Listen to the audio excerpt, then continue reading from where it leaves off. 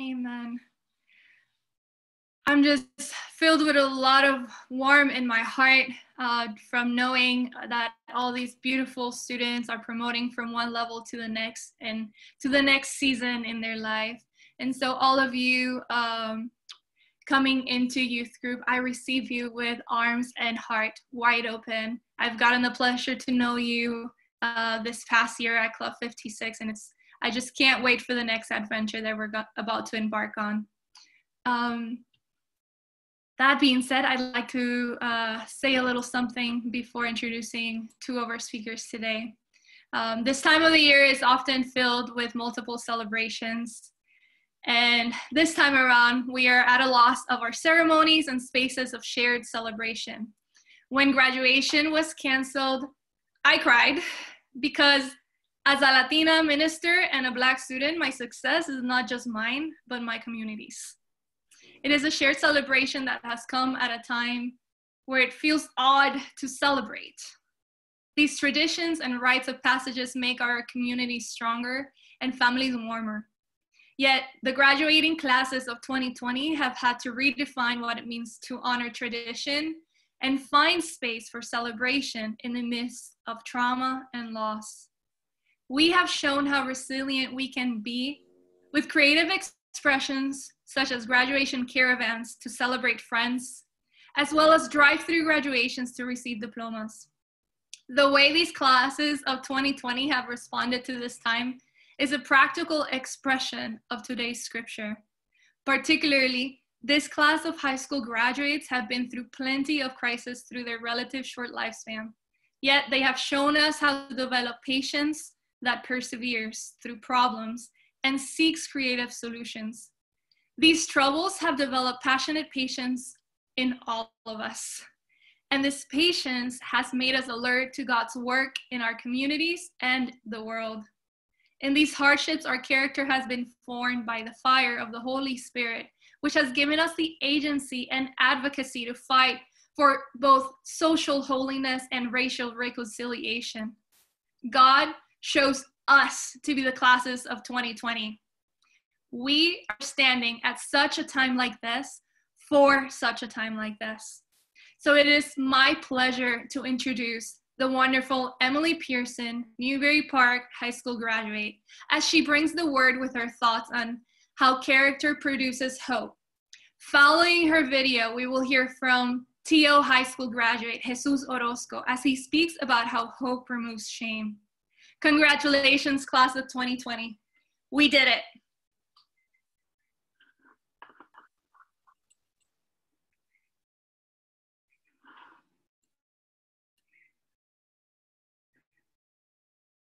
So, in the scripture, Romans chapter 5, verses 3 through 4, it reads, And not only that, but we also boast in our sufferings, knowing that suffering produces endurance, and endurance produces character, and character produces hope. So, when I read that verse, um, I struggle to connect to it on a personal level just because I haven't had to endure a lot of suffering. Um, I have lived a very privileged and blessed life. Um, but something that I have struggled with throughout my life is constantly worrying. And recently, like over the past couple years, that worry has turned into anxiety. Um, and recently, I have begun reflecting on why I think I struggle with a tendency to worry and anxiety. Um, and I've come to the conclusion that a lot of it is rooted in the era that I grew up in. Um, I think it's important to acknowledge that my generation grew up in very different circumstances than the older generations. Um, an obvious example would be technology and just the accessibility of the internet, um, social media. I think my generation was the first to really grow up with technology everywhere. Um, everyone has phones nowadays. Social media is used by almost everybody. So, a lot of those things can cause anxiety. And obviously, having um, the internet and technology so accessible has a lot of benefits, but like I said, it can also have a lot of drawbacks um, and cause a lot of insecurity, anxiety in teens and youth. Um, and another thing I think that kind of goes along with just being in the age of information. Um, you know, since since the internet is so accessible, we obviously have access to a lot more information, and that is a great thing. But at the same time, that also has its drawbacks. So, like, um, I've grown up, you know, just always reading the news and always being aware of what's going on in the world around me, which I think um, is really important.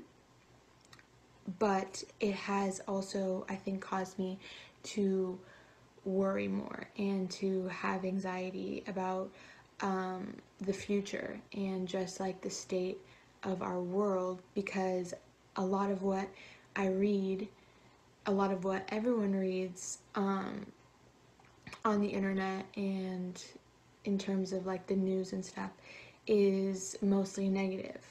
So I think it's really easy to be overwhelmed by a lot of the um, negative things going on in the world, and that can cause people, especially me, to doubt the future and to just have a lot of fear about what's to come. And I know the Bible teaches um, not to have anxiety, you know, to cast your fears and your anxieties on God because ultimately the future is in His hands. And that's something I'm still working on. I think it's a lot easier said than done. Um, but it's something that I'm definitely trying to improve.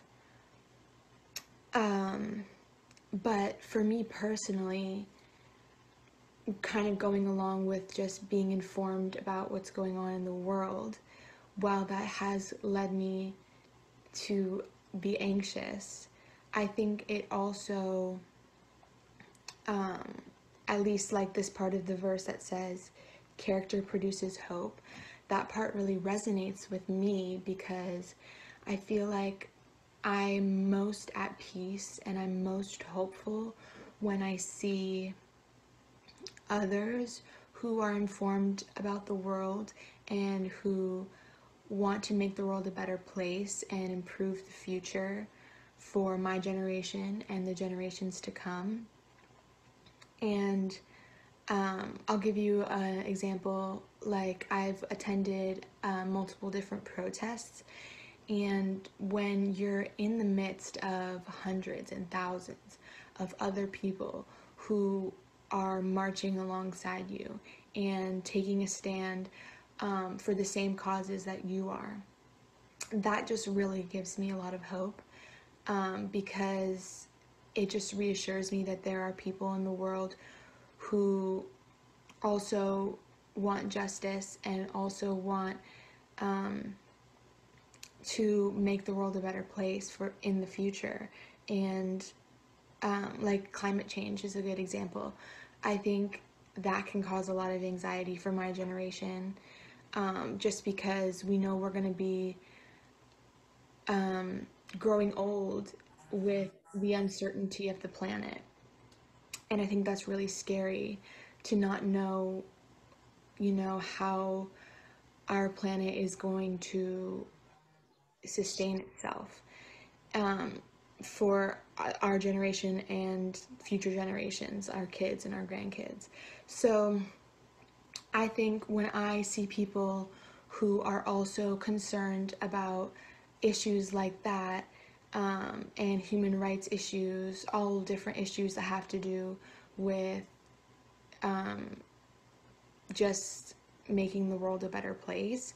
Um, when I see other people who are concerned about those issues and standing up for those issues as well, that gives me hope, and that's what I associate character with. I think people who have good character um, care about justice and care about loving others unconditionally and care about leaving this planet a better place for everyone, all humans on the planet. So, that is just a bit of my interpretation on the verse and what gives me hope when I feel anxious about the future, which I think, especially in these times, it's very easy to get caught up in worry and fear because of the uncertainty of everything. Um, but I'm working on trying to cast my fears and my anxieties onto God and let Him control those and let Him handle those because ultimately I have no control over the future or over the state of the world. Um, I need to understand that that's in God's hands, and worrying is not gonna fix that. So that's just my interpretation. Um, but I do think it's really important to find hope in the midst of worry and fear and anxiety. And for me, I find hope by turning to the people around me who I feel like have good character and who also care about the things that I care about. Um, who basically care about, you know, making the world a better place for everyone who lives on it. So.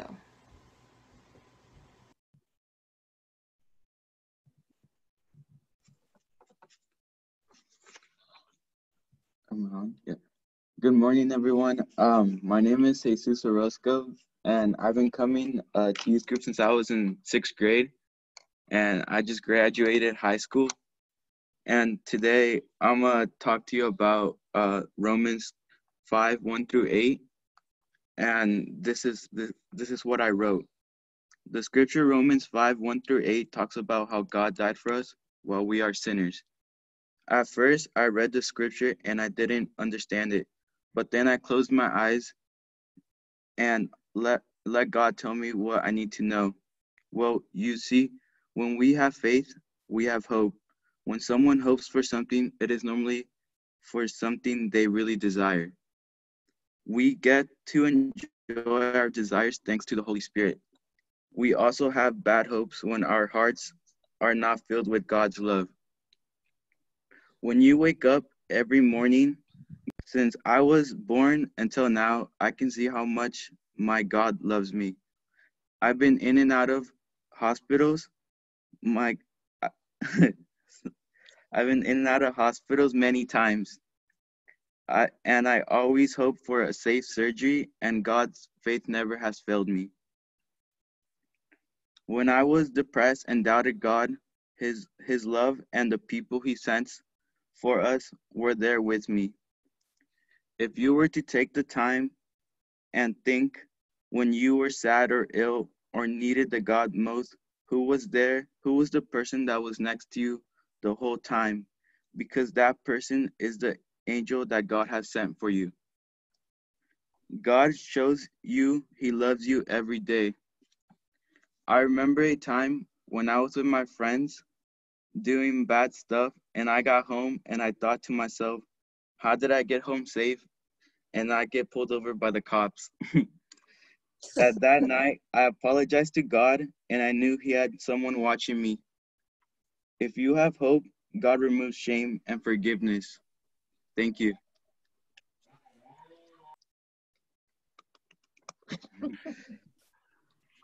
Thank you so much, Jesus. And uh, what a beautiful and inspiring message we have uh, from both Emily and Jesus. Um, so, with that being said, let us pray today. Um, Santo Dios, gracias por la oportunidad de celebrar en comunidad. Thank you, Lord, for the opportunity of celebrating in community the beauty of graduation. Um, Lord, I pray that you are with every single of our graduates, especially our high school graduates who are going into a world of the unknown with hopes and desires. Lord, I know that you're going to take care of them and that you are going to um, speak to them and care for them in their particular needs. Lord, help us be the community that they need to grow into the adults that you are calling them to be. Lord, give us the words of wisdom to inspire, the words of courage to uh, cheer them on, Lord, to whatever task they're um, on. Lord, I pray for every movement that they're going to start. May they see it through uh, in your presence. Lord, give them the give them your spirit, guiding them and taking care of them. Lord, I also want to take a moment to pray for all of the needs of our community, all of uh, us who are suffering, Lord, uh, whether it's sickness or emotional or financial, Lord. I pray that you take a hold of these needs and you um, lift the burden, Lord. I pray a miracle for our communities. Um, I pray for our uh, Black siblings, Lord, out there. Uh, keep them safe, Lord. Protect them. I pray for um, the rest of our uh, teaching community, Lord, as they prepared for a new year and a new summer uh, with all these interesting rules on how to keep each other safe. Lord, um, give, give us the wisdom of everything uh, and how to handle everything the way that you want us to. Um, and Lord, let us pray together as a community um, that prayer that you've taught us to pray. Our Father, Padre nuestro que estás en el cielo, santificado sea tu nombre. Venga a nosotros tu reino y hágase tu voluntad aquí en la tierra como en el cielo. El pan nuestro de cada día, dánoslo hoy. Y perdona nuestras ofensas, así como nosotros perdonamos a quienes nos ofenden. No nos dejes caer en tentación, mas líbranos del mal, porque tuyo es el reino, el poder y la gloria por los siglos de los siglos. Amén.